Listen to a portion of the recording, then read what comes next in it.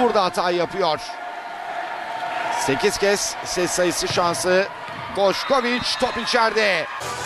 Eczacıbaşı. İşte izliyorsunuz Boşkovic'in burada